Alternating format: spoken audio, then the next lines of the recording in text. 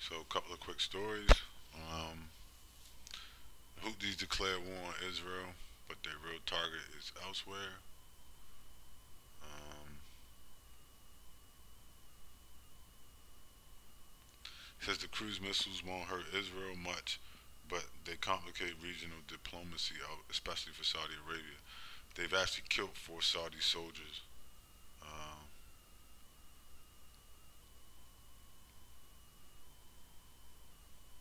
yeah, the Houthis, um, they're not fucking around. So, looks like they're gonna jump in it, right? So, it looks like this war is expanding. Then also you have this story out: the Algerian Parliament unanimously unanimously votes to support Palestine militarily. Right? So, Algerian Parliament on November 2nd unanimously voted to authorize the president to enter the Gaza-Israel war through his support behind Palestine.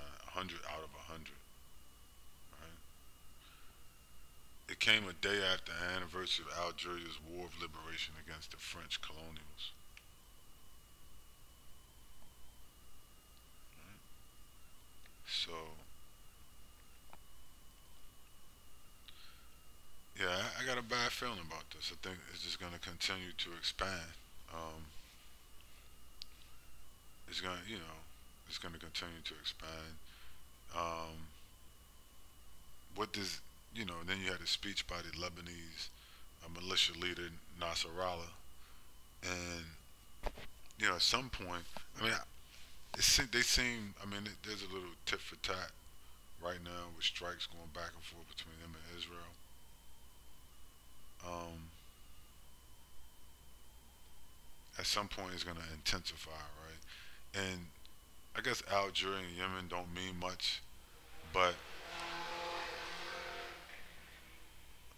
when collectively you look at it, it means a lot. Like, because if they decide, I mean, to send soldiers, you know, like, this shit will never stop.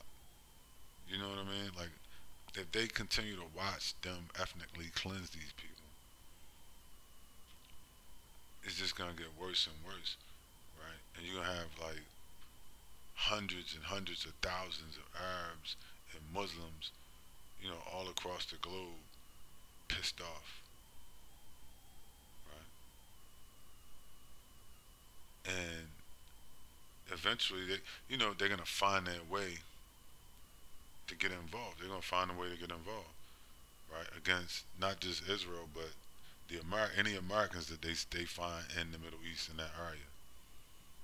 They're going to get at them. You know what I mean? So it ain't just them, it's everybody that support Israel. That's why the Yemen Yemenis are bombing the Saudis. Why? Because there's a American base in Saudi Arabia. That's why Yemen is bombing and killing Saudi soldiers. Right? The embassies, the military installment uh, and bases, you know, uh, uh, everything. Ships, they got ships over there. They put, they brought all those ships over there. That was that's stupid. They sitting ducks. right? He said America's too powerful to fall. Wait a wait a wait a minute. You just brought a bunch of fucking ships in the middle, basically, of a bunch of Arabs who don't like you. Are you fucking crazy? And then you just piss them all off where they're all shooting missiles. You don't have enough missile defense. You can't shoot everybody. You can't shoot Algeria, Egypt, Syria, Lebanon, Palestine, um, Tunisia, uh, on and on, right? I can name a few more. Throw, you know, throw a few more in there. You can't shoot shoot all of them at the same time. I mean, you can try to go to war with all of them. You know what I mean? But it's it's madness. Like the casualties is going to be immense they're gonna, you know, if all of them decide to join the war, right? And you just got all of these different groups, Pakistan, right? Afghanistan, right? All of them, you know, engaging in negative activity toward U.S. installations and Israelis. Not to mention you got Muslims in India. Right? Malaysia, all these places. And they decide like, you know, it's open season on motherfuckers. That's gonna get crazy real fast. Right? That'll be crazy real quick. And then particularly look at that Mediterranean area. Right? You can't fight there's no I I I forgot to mention Iran, right? But you can't fight all of those people at the same time. They're gonna get overwhelmed. It's like a, a zombie apocalypse, right? You're just gonna get overwhelmed by sheer numbers. It doesn't matter. You said, well, I got advanced weapons. I mean, there's a lot of people there. I mean, just think about it. People like Hezbollah got 150,000 missiles. I don't give a fuck how much missile defense you got on those ships. If they decide to shoot like a thousand rockets at one of those ships, right? That shit is going down to the bottom of the ocean right? They'll sink all that shit if if you got five or six countries shooting rockets at ships. They ain't got enough missiles on the ships to to to maintain, right? So eventually they'll start hitting it, and you know some of those rockets some of those guys got could probably sink some of those ships. It's happened before, right? I think Lebanon, matter of fact, the Lebanese killed maybe 250 uh, American soldiers one time. A lot of people, you know, they got short memories, but I remember that. Matter of fact, I think it was on the ship or something, somewhere around, you know, something happened, and they hit it, and they killed like 250 American soldiers in a clip. The Americans didn't. Uh, the Americans left after that. They just rolled out, packed shit up, and left. And that's what's gonna happen this time. They're gonna. It's gonna be a repeat because you can't attack everybody in the Middle East, right? It's just going to be too many people hitting from too many sides once they all get in, right? You got Yemen, Tunisia, Lebanon, Palestine, the shit, you know, Egypt. What if the Saudis flip? Right? Morocco, all kinds of places you know, it, it's going to be overwhelming. It, it's going to overwhelm them in the Middle East. Just sheer numbers. You know, when you got, you know, 300, 400, 500, 600,000. You know, you got 600,000, you know, let's say soldiers running around, all trying to take your asses out. It's like, damn, you really want that? Like, that's insane. You got hundreds of thousands of people just running around.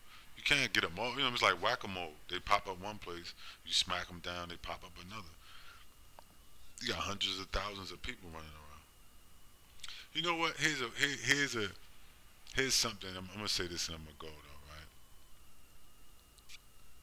Here's an interesting point.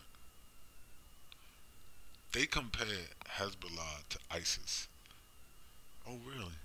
Interesting here's a, here's a tidbit, right? They say ISIS is this so-called, you know, anti, um, whatever, right? The anti uh, Western, you know, they want the Islamic fundamentalists, anti this, anti that.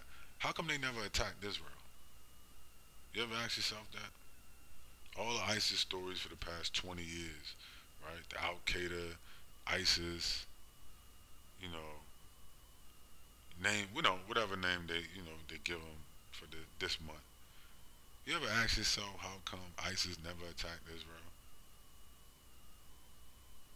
If they so anti this, anti that, right? If ISIS hates, you know, America, Jews, whatever, these, you know, their allies, different people, right? How come ISIS only attacks um, other Muslims and Arabs. I thought that was interesting when I thought about it. I was like, huh, I've never seen them attack, you know, like like Hamas you know, attack the Israelis. Okay, that made sense to me. You know, I mean, you know, it's kind of like okay, people got you in the concentration camp, stole your land, killed your parents, grandparents, and shit. I, I can dig it, right? Okay. That conflict kicks off, and then you look at it, and then the Israelis bring up ISIS. ISIS this, Hamas is ISIS. Hamas are Nazis. You know, they start making all these weird comparisons that don't compute. And when they said, you know, Hamas is not, um, I'm sorry, Hamas is, uh, you know, like ISIS and Al Qaeda, I started thinking to myself, how come they never attacked you? How come there were never any attacks, right? Like so-called Al Qaeda, they wanted to get at motherfuckers, right? The but they went all the way to New York on 9/11 when they could have just went to Israel. Really? They went all the way to so-called New York or D.C. or whatever. How come they ain't never go to Israel? It's right there. Eh, you know what I mean? There's plenty of American bases in the Middle East. If they was looking for Americans and, you know, American allies, how come they, you know, don't just? Why come they never attack any of them? Any of these, you know, any of these Israelis?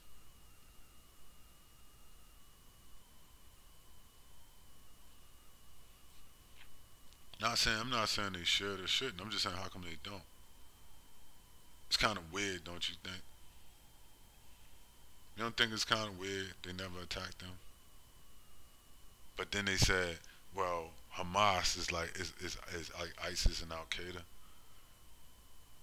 Really? Hamas is like ISIS and Al Qaeda. That's a good. It's interesting you brought that up, Mr. Israeli man. How come they never attacked you? In you know 20 years. Hmm. I know why. I know why. There was a matter of fact, there was a story that came out. Let me see if I can find it. Stand by. Here's an interesting story I saw a long time ago. Right? Exclusive. Israel is tending to wounded Syrian rebels. Oh, really? Wounded Syrian rebels? Israel is quietly cultivating ties with moderate terrorists, moderate terrorists, moderate Syrian rebel groups operating along the country's UN monitored ceasefire with Syria, providing medical, medical care and other unidentified supplies to the insurgents while potentially extracting intelligence on the activities of uh, the president of Syria, as well as extremist opposition forces within Syria. Israel is quietly cultivating ties with moderate terrorists, a moderate terrorist, a moderate Syrian rebel group operating along the country's UN monitored ceasefire. Hmm. Scores of wounded, right, across the line separated Israel from Syria. Right?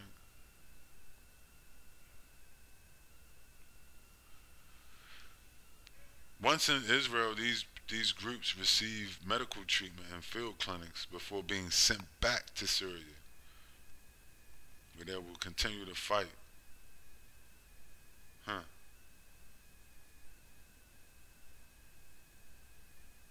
Very helpful, these damn Israelis. Right? Very helpful they are. Throughout that reporting period, the UN frequently observed armed members of the opposition interacting with the Israeli Defense Forces across the ceasefire line. According to the report, on one occasion, UN observed the IDF on the Alpha side inside Israel handing two boxes to armed opposition on the Bravo side inside of Syria. UN officials worry that rising instability in the ceasefire zone could ultimately threaten the uneasy peace. I'll stop there. So we see from this report that the Israelis, huh? Now, who are these people that they're talking about? These moderate terrorists. Well, that would be they would these people would be labeled affiliated with Al Qaeda, ISIS, Al Nusra Front, all these uh, different uh, so-called like Al Qaeda affiliates. Yeah. Story's been around for a while, right? It's kind of curious. So, so that's why that's why um, Al Qaeda, ISIS never attacked Israel. Right? Because you can hang out in an Israeli hospital, why would I attack you? right? If I, if, you, if I could get some boxes of weapons from you, right? And, and if I get hurt, I could go to your hospitals, get treated, have some lunch, right? Stuff like that, you know, hang out for about a month, recuperate, and go back to, you know, fighting right?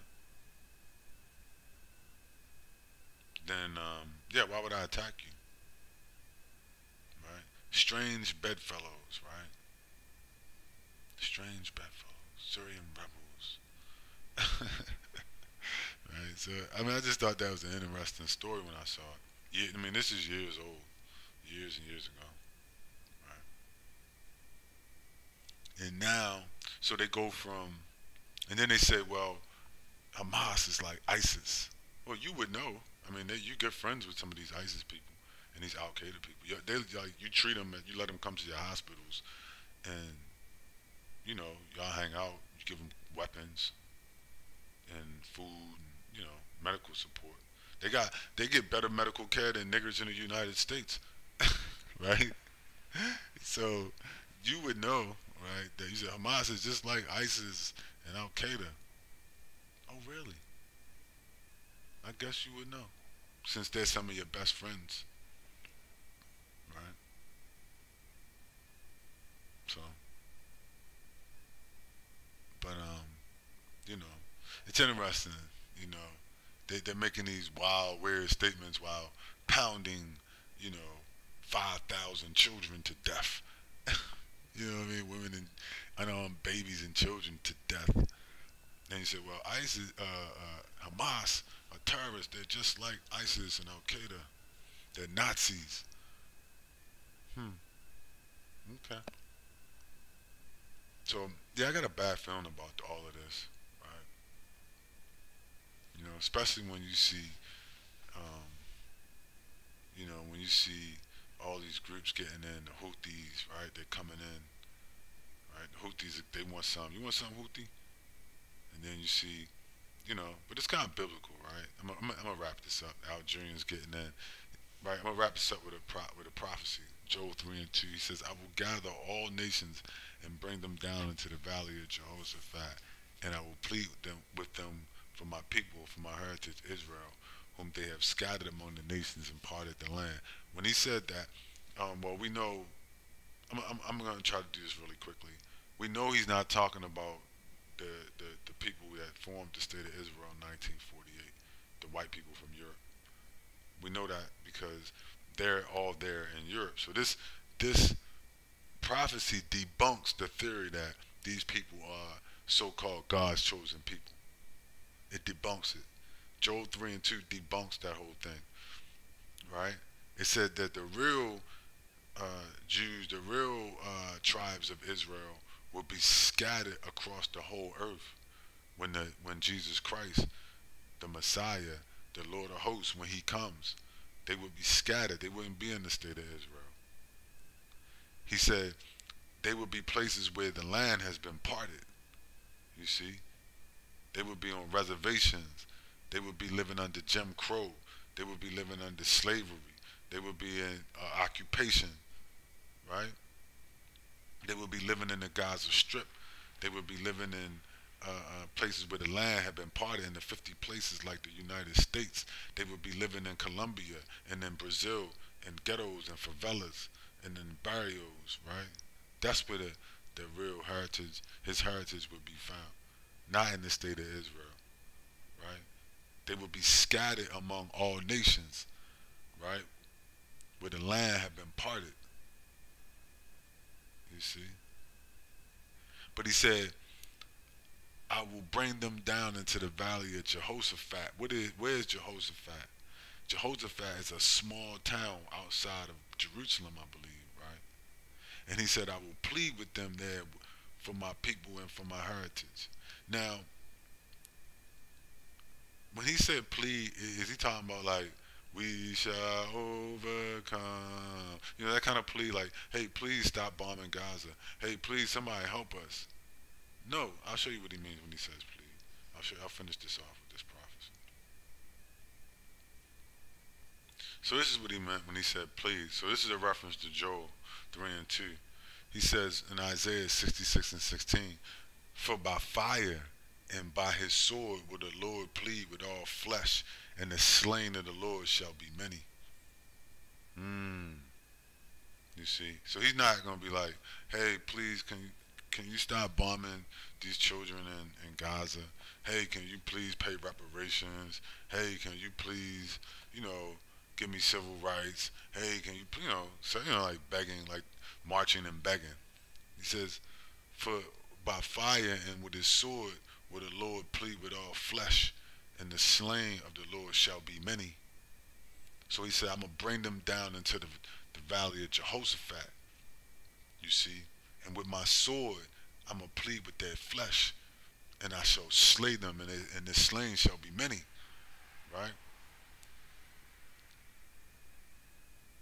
You see, the Lord, the Lord is Thanos.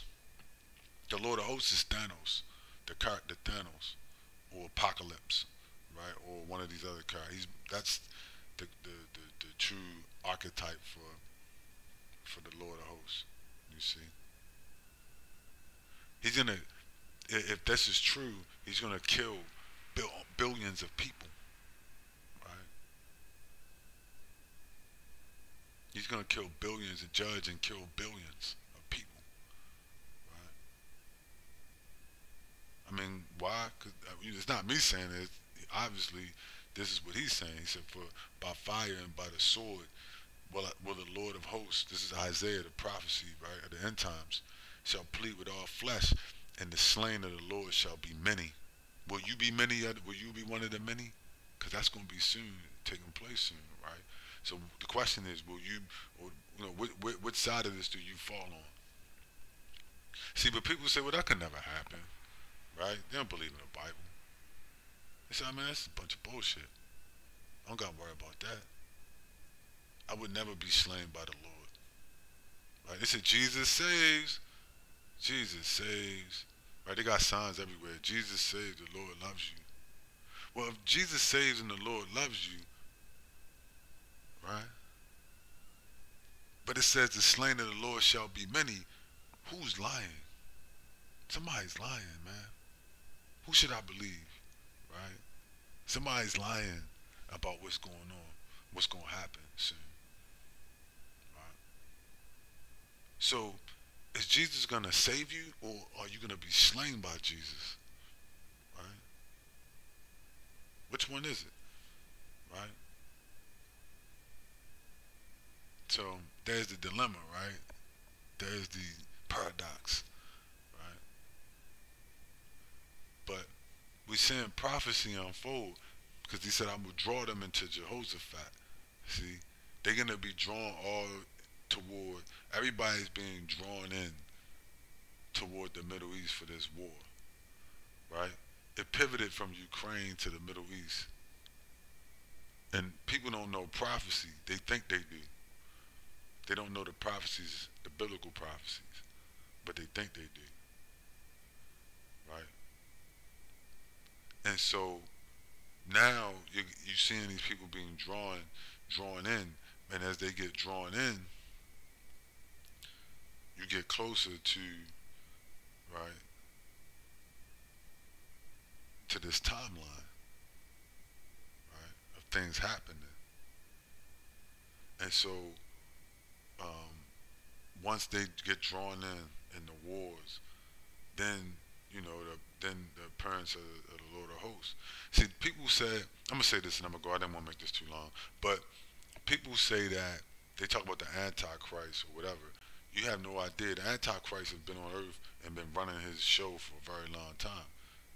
Right? The pyramids are a sign of that. You see, and the pyramids are probably at least 10,000 years old. So the Antichrist has been here for a very long time. Right? All of, everything going on is a part of the beast system and part of what the Antichrist has put in, has put in place over hundreds, if not thousands of years. So the Antichrist and his coalition, right, is the synagogue of Satan, which runs Israel. You see? So all of that is already taken place. The only thing left now is salvation. We people have to be saved from them. Right? Who can save the Palestinian Christian from the synagogue of Satan? right? Who can save, you know, the Negro running down the street in America, right? From the Nazis in America, right? Who can save, you know, the the you know people in the favelas you know all the barrios in the, you know Colombia and Brazil and then Mexico and then Guatemala, right? And then Cuba and then Dominican Republic, right, and everywhere in Africa. Who, who can save these people from these people, right? You see? People had to be saved from them. So that had to be saved from the Antichrist and his and his coalition, right? The Bible says the earth has been given into the hands of the wicked. You see? That means the Antichrist is already here and has taken over the earth a long time ago and has, is in charge. You see? Who but the Antichrist would slaughter babies in churches? You see?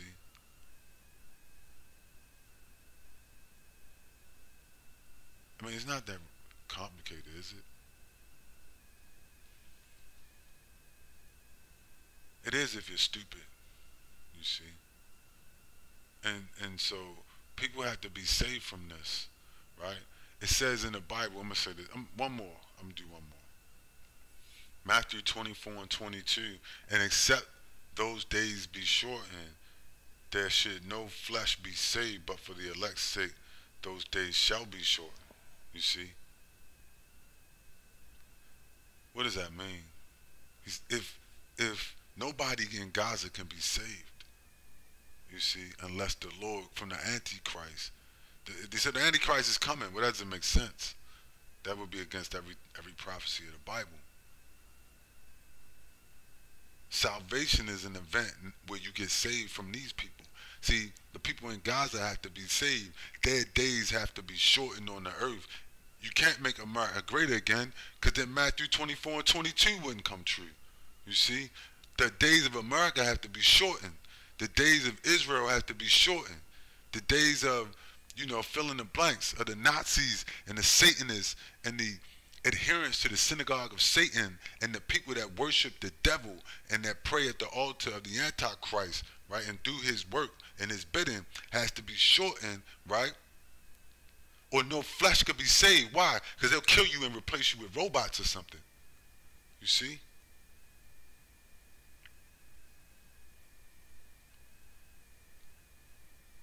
That's why.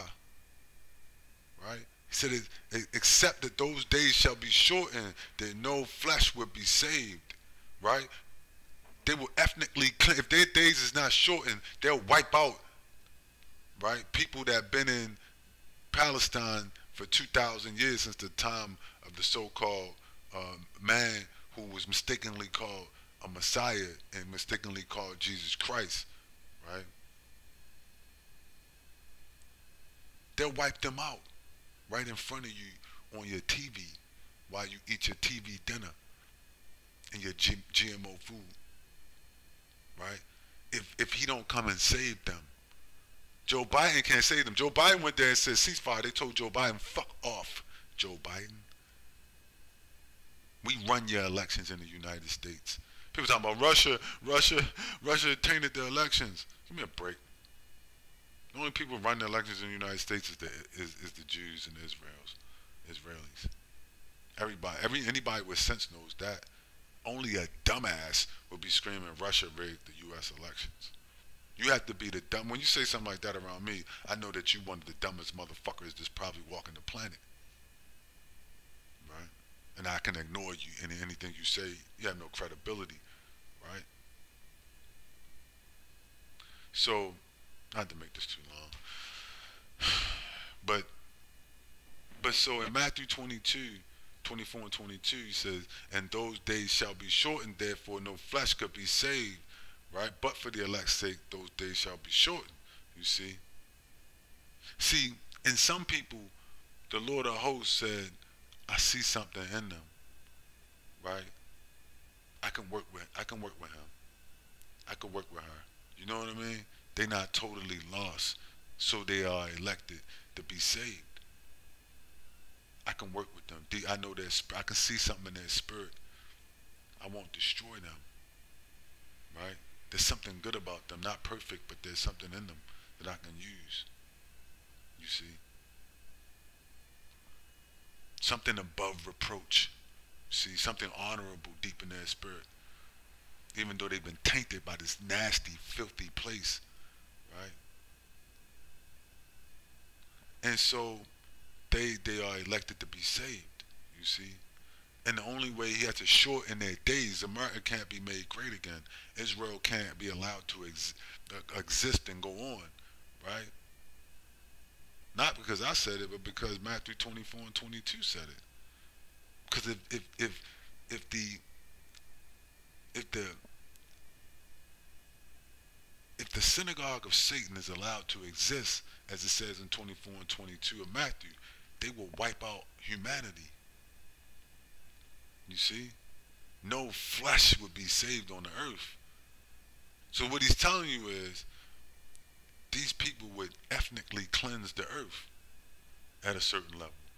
What they're doing in Palestine and Gaza, what they've done to the American Indians and the people in South Africa and the people in South America, right? They would continue across the planet and continue doing doing these evil deeds, you know, uh, for the Antichrist until he manifests a plan where he would start to destroy all flesh and kill all the people, right? Artificial intelligence. Maybe he bring in, you know, cyborgs and robots or whatever, right? So no flesh. Who knows, you know, the extent of what he's saying when he says no flesh could be saved, right? If he didn't step in, right? If he didn't step in like it says in the book of Joel.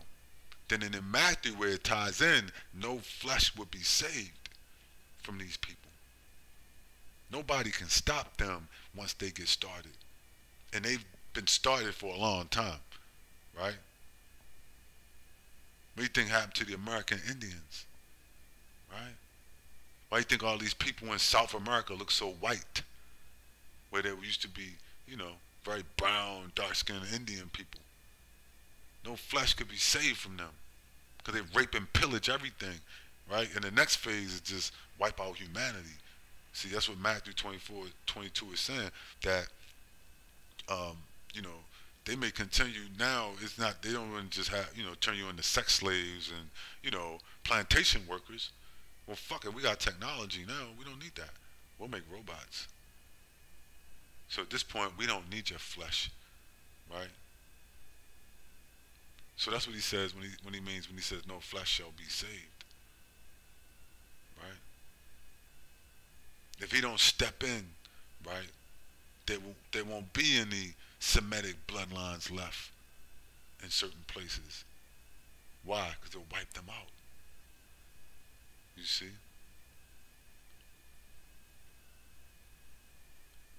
People think you think you you think I'm gonna say this and then I'm gonna go for real for real.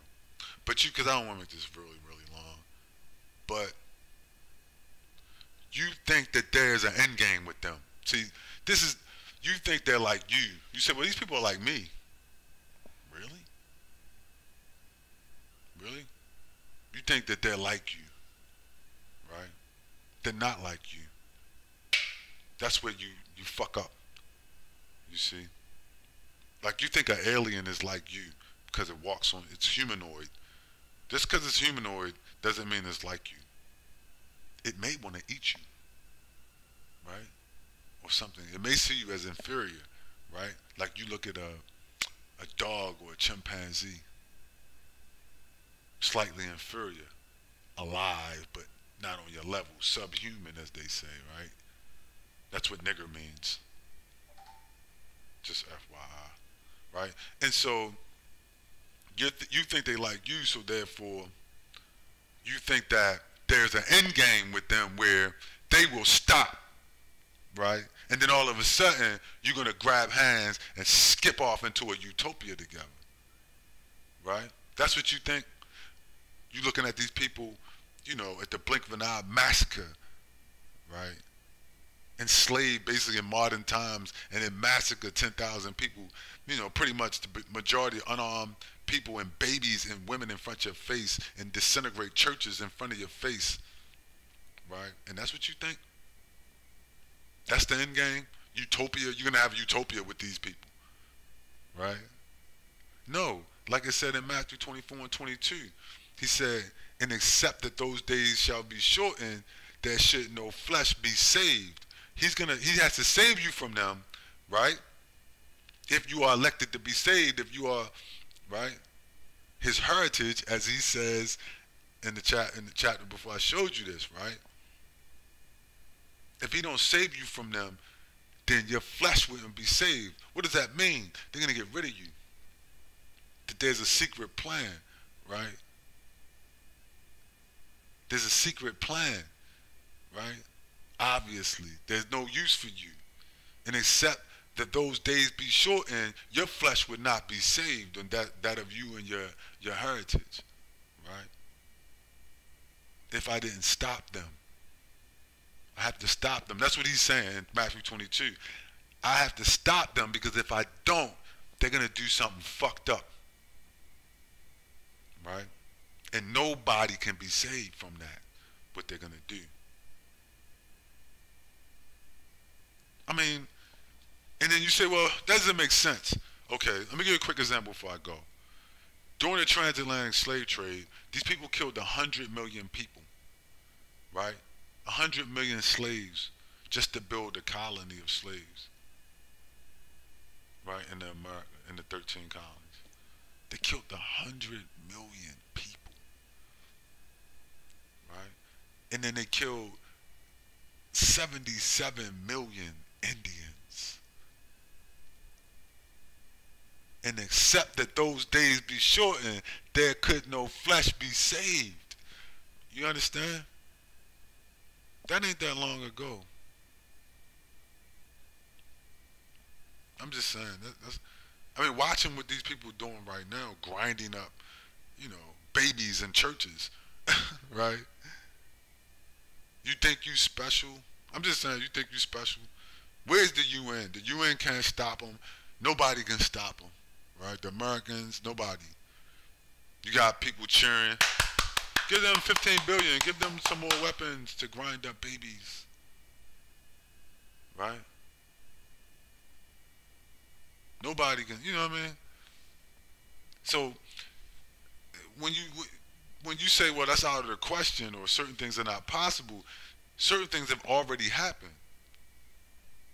So are you out of touch with reality is the question? Or are you a fool?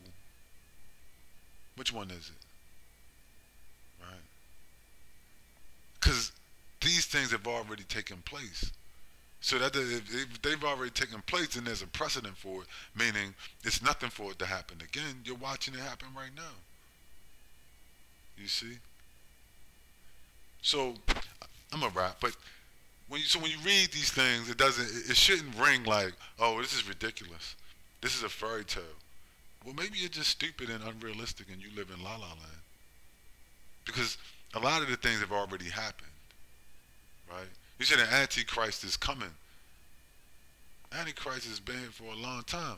The Antichrist is the reason why they ground up 100 million people to build a slave colony, and why they ground up 77 million Indians into the dust, right? Ravage South America and Af- Africa and you know and every fucking el- where else on the planet. What do you think that's a coincidence? Are you that fucking dumb? Right? You think it's just a coincidence? These things are coincidences? Everything is connected. Right? I'm I'm gone this time, but but everything is connected and people need to realize that.